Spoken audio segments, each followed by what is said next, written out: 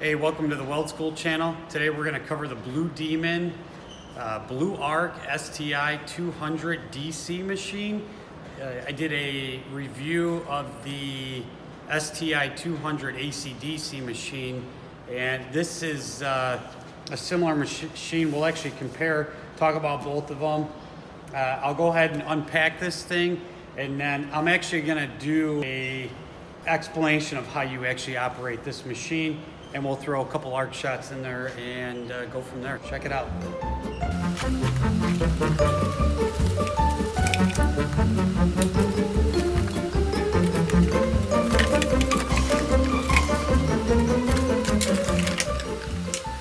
All right, so we, we got the machine unpacked. This is the Bluearc 200 STI DC machine. I put over here the Bluearc 200 STI AC DC machine. I want to say it's the little brother of this machine, but it's the same output. It's still a 200 amp machine. It's a 110, 230 hookup. Uh, it came with a lot of the same components. So I don't know if I want to call it its little brother. I want to call it maybe, maybe the twin who didn't get uh, all the same talents or skills. So this thing you can see right here, it's got a, a, lot more options, obviously, because of AC. You have waveforms and things like that. Uh, this machine's a little bit more simple. Uh, you know, we still have our stick and TIG capabilities, uh, but we don't have all the advanced features. Uh, but overall, it looks like we still have uh, some different features. We have uh, a couple different pulse settings. It looks like just straight DC, a high pulse, and a low pulse. we have a pedal option or basically just whatever you set the machine to. It does have some downslope. Uh, it's got your MMA, your stick and TIG, and it's got 2T, 4T. Uh, it looks like we have just about the same setup in the front.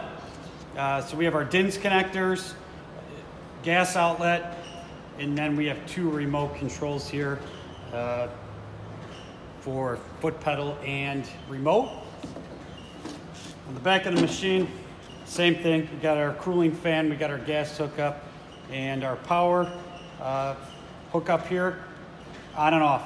So very similar looking machine, uh, really lightweight. And uh, we're gonna go ahead and show you how to use this machine and run some beads and go from there. All right, so the first thing we're gonna do is we're gonna do some stick welding. I have this thing hooked up on a 230 volt hookup. I have my stinger down here in the DC positive. I have my ground on DC negative. There's really not a whole lot to it. Make sure you select your MMA. Um, I have my current control here. Okay, so I'm gonna run probably, we'll go 60-10 first, eighth inch. I don't know, somewhere, yeah, 90s, that's fine. And uh, I think I got everything else set up. It looks good. It shouldn't be much to it when you're, when you're stick welding. Uh, so let's go ahead and burn a couple rods and see what they look like. All right, I got a couple uh, T-welds tacked up here. Uh, got some 6010s. We'll start out with that. I'll probably run some 332 7018 around the same amperage. I'm, I'm down there in the low 90s. And then I'll jack it up and run some 8th inch 7018. Let's see how this thing performs.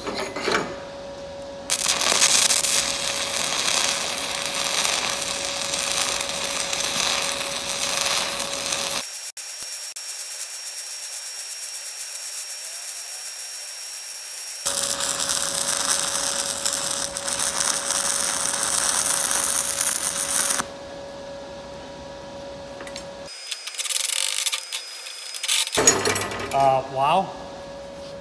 Look at that. Just stacks dimes, no problem. Toes straight as could be. It kept a really uh, solid arc throughout. No interruptions. Uh, you know, I got a little bit of arc blow right at the end, but I mean, that can happen on any machine whatsoever. So uh, look at that. Just stacking dimes with this thing. So that's a 60-10 whip pause technique. Let's go ahead and throw down a 60-10, uh, just a stringer pass, no manipulation.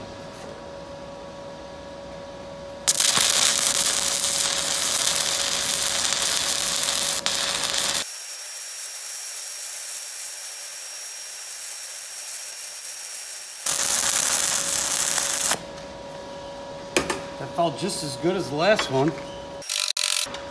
No arcing issues whatsoever. Get rid of some of that spatter.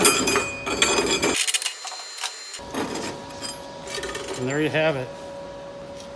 So 60-10, straight pass. Still got some slag on there. 60-10. Manipulation, little whip pause. Beautiful. All right, let's go ahead and run a little bit of the 7018. I was at 91, yeah, 91 amps. Uh, so I'm gonna run the 332 rod. That's a great amperage. And see what that looks like.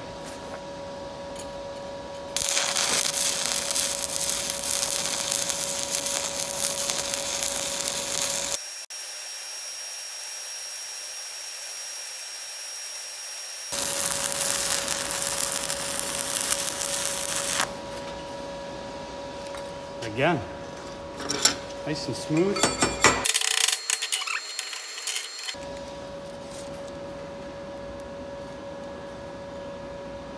No problem whatsoever. That's beautiful. Straight toes, uh, really smooth. All right, 332. Let's jack it up and run the big boy. Well, a bigger boy. I wouldn't call that one the big boy. Go up to about 120 amps and run our eighth inch rod. My prediction, same as the last three beads.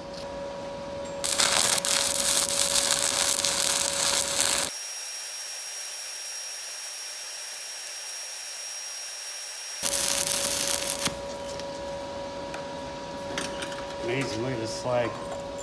Woo! Come on. I love it. Small machine, packing a good punch. Look at that. That's awesome. All right, so I have no complaints whatsoever with stick. Uh, really easy setup. Hook up your Dinse connectors, put it on MMA, set your amperage, and burn rod. Let's do some TIG welding. All right, so we're all done with stick. We're testing out some TIG stuff here. With your setup, I got my ground over here, DC positive. I have my uh, TIG torch hooked up here. Now this is a little different than the uh, STI 200 AC-DC where it's got the additional Dinse connection over here. This time it's actually gonna flow its power uh, through your gas outlet. So a little bit different there. It does have the, the remote on the actual trigger. I'm gonna go ahead and use the foot pedal only.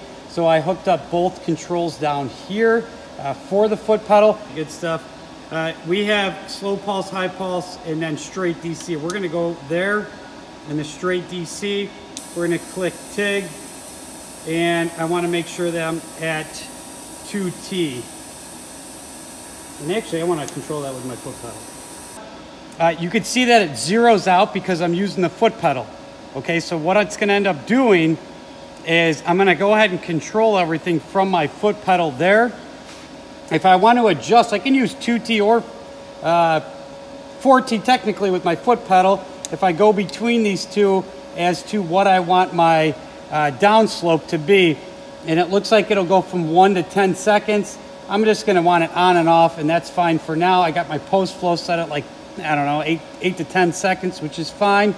Uh, so if you get into the 4T, you're just gonna have to touch the pedal multiple times to get to those different uh, ranges. Uh, but let's just keep it on 2T. I'm gonna have my down slope as, as low as it can go. I fire it up, it runs. I let go of the pedal, it turns off. I got my post flow going and I'm good to go.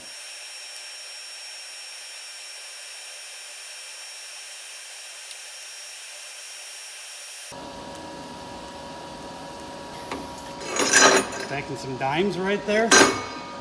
Beautiful. Arc is smooth. Little machine packs a big punch.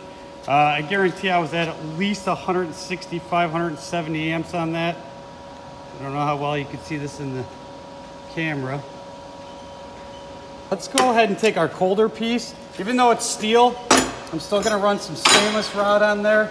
Like I said, I got the 309L Blue Demon 332 rod here. Let's see what that does.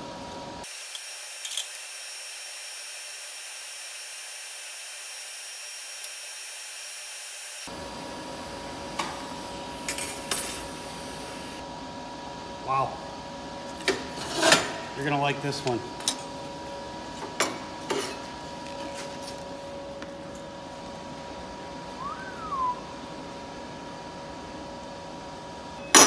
Steel, stainless. Let's see what else it does.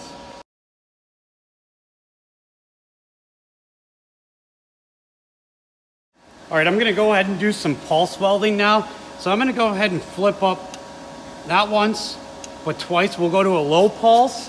Uh, I'm gonna leave everything else the same. If I want, I mean, maybe I'll just do a little bit of a downslope here.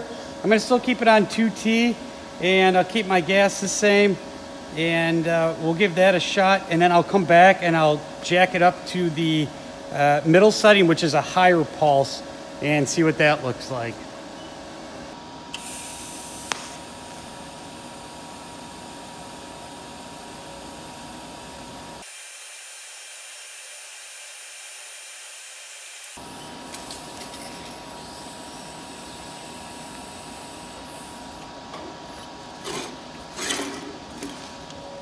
Little lay wire pulse at a lower setting. We're gonna go ahead and flip that switch and do a higher pulses per second.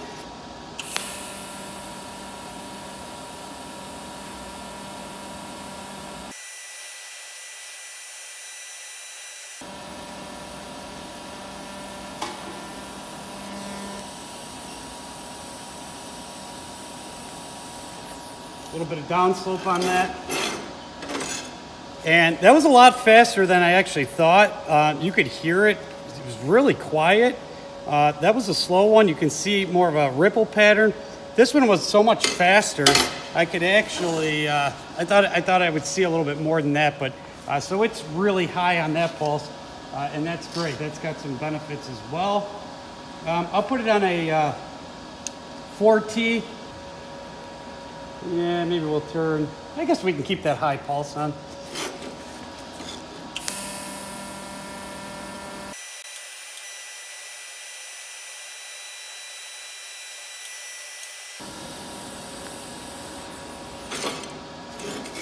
And we'll do one more setting. We'll turn it on 2T. We're gonna put the machine instead of pedal and turn the pulse off. See what we get here.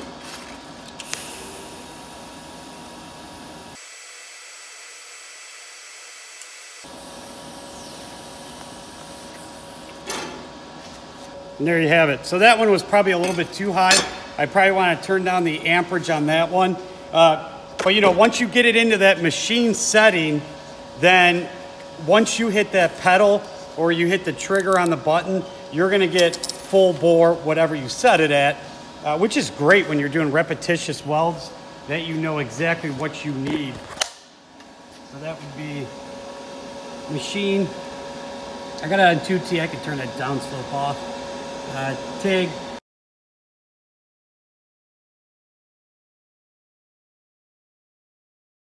All right, the results are in. 6010. 7018s,